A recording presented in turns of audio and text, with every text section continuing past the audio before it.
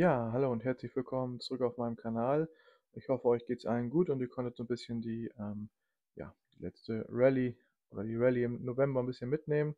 Konntet vielleicht auch, ähm, ja, aufgrund meiner ähm, Inspiration so ein bisschen vielleicht äh, da für euch eine Aktie finden. Ähm, ja, ich habe zwischenzeitlich so ein bisschen an meinem Ton gearbeitet, gab so ein bisschen Tonprobleme mit, der, mit meinem alten Mikro. Da habe ich mich ein bisschen verbessert und werde auch weiterhin, ähm, ja, wenn es der Kanal und die Abonnenten hergeben, weiter so ein bisschen investieren, vielleicht auch mal mit Schnitt anfangen, ähm, also mit Videoschnitt. Ja, das mal zu mir. Ich werde jetzt in Zukunft die Videos ein bisschen kürzer halten, ähm, weil die, meine letzten Videos waren ein bisschen lang und vielleicht ist es für den einen oder anderen etwas angenehmer, wenn man kürzere Videos kompakt zusammengefasst hat. Ähm, könnt ihr gerne auch mal in die Kommentare schreiben. Ähm, also ihr könnt so oder so gerne schreiben. Ich freue mich immer, mich mal mit anderen Anlegern auszutauschen. Ähm, aber was ihr davon haltet, ob längere Videos oder kürzere Videos. Ähm, und ja, würde mich freuen, wenn man da so ein bisschen Feedback bekommt. Und ja, jetzt mit einem neuen Mikro werde ich auch wieder durchstarten mit, ich habe immer noch viele, viele Aktien, die ich vorstellen möchte. Einige sind schon gut gelaufen, andere, ja, sollten noch gut laufen. Und ja, dann mal rein ins Video. Heute dabei habe ich die Hensoldt AG, ein Rüstungsunternehmen äh, aus Deutschland, breit aufgestellt. Ähm, sind meistens in der, ähm, im Sensorbereich ähm, aktiv, also sie produzieren Sensoren und Sensortechnik für Rüstung und ähm, sind aber auch im, im, im Bereich ähm, Halbleiter mittlerweile relativ gut aufgestellt. Wie man hier sieht, ähm, ja, Raumfahrt, Luftfahrt an Land sowie ähm, zur See haben sie da, äh, also haben sie ein breites Produktportfolio anzubieten und bei Rüstung muss jeder für sich selber entscheiden, ob er in sowas in investieren möchte. Hat natürlich immer irgendwo was mit Krieg zu tun. Das ist, keiner von uns mag das. Aber ich bin an der Börse, um Geld zu verdienen.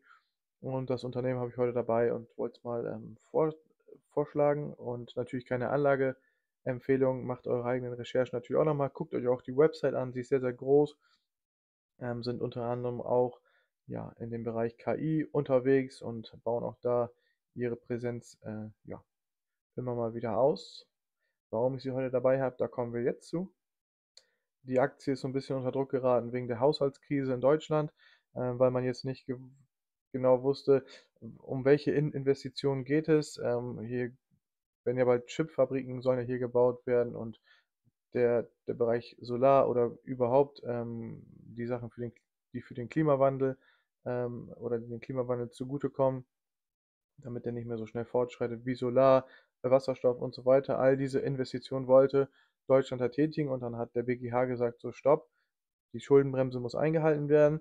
Und äh, da war natürlich auch irgendwo zumindest ähm, ja, die 100 Milliarden Sondervermögen für die Rüstungsindustrie ähm, in Gefahr. Aber wie man jetzt lesen konnte, also man kann viel lesen, was da so ähm, ja, wahrscheinlich eingestampft wird an Investitionen, aber von Rüstung habe ich da jetzt noch nichts gelesen, deswegen ist diese Gefahr eigentlich schon mal gebannt. Man weiß natürlich nie, welche Auswirkungen das am Ende hat, aber ich denke, hier wird auch massiv weiter ausgebaut und weltweit ist die Nachfrage nach Sensorik äh, groß. Man hat gerade erst wieder einen neuen Auftrag ähm, an Land gezogen für das britische Verteidigungsministerium, glaube ich. Ähm, den Artikel habe ich jetzt hier nicht vorliegen, aber auch da sieht man, dass ja, einfach weltweit das Thema einfach groß bleibt. Und ja, ein weiterer Grund, warum die Aktie unter Druck geraten ist, ist hier äh, gestern ist durchgesickert oder wurde bekannt gegeben, ähm, dass Hensoldt den Rüstungsspezialisten aus München die, den ESG übernehmen wird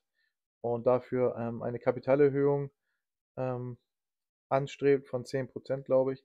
Und auch neue Schulden werden aufgenommen. Das kommt natürlich erstmal nicht so gut bei der Börse an, weil es natürlich Kosten sind und man und die Verschuldung ähm, ja, steigt natürlich an. Aber wir gucken gleich mal, wie sich das auf den Chart ausgewirkt hat.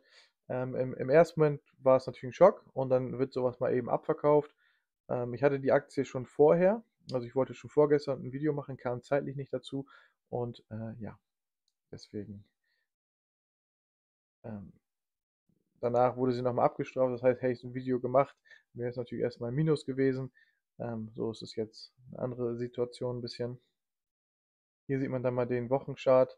Das war die, die Verkündung, dass man die Firma kaufen möchte. Da gab es natürlich dann Abverkauf und heute, ja, hat sich dann auch schon wieder deutlich erholt. Wenn man sieht, auf einmal gab es, war man erst Minus den Tag über mit 1 oder 2 Prozent und plötzlich ist man 3 bis 4 Prozent im Plus. So schnell kann es gehen an der Börse und für mich äh, langfristig weiterhin ähm, eine gute Investition. Hier jetzt noch kurz ein Blick auf die Aktie im, im Gesamten. Hier war natürlich der Kriegsbeginn in der Ukraine, deutlicher Anstieg bei allen Rüstungsaktien. Dann so eine kleine Phase der Konsolidierung, dann kamen gute Zahlen und ne, dann eben die 100 Milliarden an, an, an Sondervermögen, die, die bereitgestellt werden sollen. Ähm, und jetzt, zuletzt gab es einen extremen Rücksetzer. Aber wie man eben sieht, ähm, zum Beispiel habe ich hier mal Rheinmetall mit reingenommen, ist natürlich ein deutlich größeres Unternehmen in anderen äh, Bereichen tätig, aber dennoch aus derselben Branche. Und hier ist dann doch schon eine Diskrepanz zu sehen von, ne, wie sich Rheinmetall entwickelt hat in den vergangenen Wochen und ähm, eben auch Hensoldt. Und deshalb, ähm, ja, denke ich, dass das in den nächsten ja, zwölf Monaten aufgeholt wird oder vielleicht sogar kurzfristiger, muss man mal sehen. Alles, was ich hier auf meinen Kanal bringe, sind eher ähm, so An Anlage- oder nicht Anlageempfehlungen, sondern Tipps, für Aktien, die man mindestens ein Jahr halten sollte. Also ist nichts für, ich, ich kaufe die heute und nächste Woche Mittwoch bin ich 30% im Plus. Ähm, das, da müsst ihr selber nachgucken, sowas findet man nur selten. Oder hat auch was mit Glück zu tun, ist Zockerei irgendwo auch. Ähm, aber ich denke, langfristig bleibt das Thema sehr, sehr spannend. Und das Unternehmen so, sowieso. Und ähm, ja, der Newsflow beim Unternehmen ist eigentlich durchweg positiv. Hier baut man jetzt eine neue Fabrik in Oberkochen, die dann ähm, ja, hochpräzise optonische Messgeräte produzieren soll und ab 2025 soll hier dann eben produziert werden. Ähm, ja, auch da wächst man weiter, organisch, das ist auch immer wichtig. Jetzt hat man eine Übernahme getätigt ähm, und wächst auch dahingehend. Ich denke, dass die sich auszahlen wird in den nächsten Jahren. Und ja, Kurzer Blick, schneller Blick noch auf die Fundamentaldaten. Die, ähm, ja, der Unternehmenswert ist momentan 2,5 Milliarden, also ist so relativ, also kleines Unternehmen noch mit einem KGV von äh, ja, um die 20 und KUV äh, 1,5. Aber ich denke, bei dem Umsatzwachstum, und das werden wir uns gleich noch angucken, ähm, ist es durchaus in Ordnung.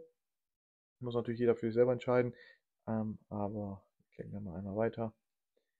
Und was man auch noch beachten sollte, ist, dass der deutsche Staat, also die Bundesregierung hier mit Anteilseigner ist, sowie ein großer, ein größer italienischer Rüstungskonzern, nämlich die Leonardo SPA, ist hier jeweils mit 25% mit drin. 25,1% ist ganz wichtig, weil sie dann ein Mitspracherecht haben. Das heißt, ähm, das Unternehmen kann nicht frei entscheiden, äh, was es tut, hat Nachteile, hat aber auch Vorteile. Das sind natürlich auch, hat natürlich den Nachteil, dass diese beiden äh, Parteien mitentscheiden, hat aber auch einen großen Vorteil, dass, glaube ich, keiner von beiden daran gelegen ist, dass dieses Unternehmen pleite geht. Also sowas wie ein Anker auch. Muss jeder für sich selber auch da entscheiden, ist es für ihn negativ oder positiv. Ich, ich sehe es neutral, aber das muss man auf jeden Fall mal eben kurz anmerken. Ähm, ja. Schauen wir mal wieder nach oben. Hier die Finanzen. Die KGVs werden natürlich sinken, muss man jetzt natürlich abwarten. Ähm, ja wie die Gewinne dann auch wirklich dann, denke da hier ist noch nicht mit eingepreist, äh, die, da, dass eine Übernahme getätigt wurde und dafür auch noch ein neuer Kredit aufgenommen werden musste. Aber das Umsatzwachstum, denke ich, kann man so auf jeden Fall ähm, mitnehmen. 10%, 10 im Jahr finde ich relativ konservativ, weil wenn die neue Fabrik 2025 steht, wird es auch da nochmal einen Schub geben. Ähm, und ja, die Nettoverschuldung muss man natürlich jetzt mal abwarten. Die wollte man drastisch senken ja, gut, jetzt hat man die Übernahme getätigt, wird sie natürlich erstmal hochgehen, keine Frage, aber auch da denke ich, ähm, die Eigenkapitalquote wird sinken, äh, wird steigen und der Free Cashflow wird auch steigen. Schauen wir mal, was die nächsten äh, Wochen und Monate bringen. Für mich Kursziel hier auf jeden Fall ähm, bis Ende 2024 auf jeden Fall die 30 Euro wieder zurück, dass die zurückerobert werden und alles weitere muss man dann sehen. Wenn natürlich wieder ein Boom kommt, kann es auch ganz schnell höher gehen. Ich glaube, viel tiefer wird es nicht gehen. Also, aber wie gesagt, ich kann das nicht vorhersehen. Die Börse macht, was sie möchte. Ich kann nur Tipps geben und vielleicht einen Denkanstoß für einige. Jetzt das Video doch schon wieder ziemlich lang geworden. Ähm, ja. Ich verabschiede mich dann für heute und schreibt gerne in die Kommentare, was ihr so von dem Unternehmen haltet und auch, ähm, ja, gerne einfach mal ein bisschen austauschen. Ich freue mich drauf und morgen gibt es ein neues Video auf jeden Fall. Auch sehr spannende Aktie, wie ich finde. Tolles äh, Wachstum und ja, dann bis morgen. Ciao.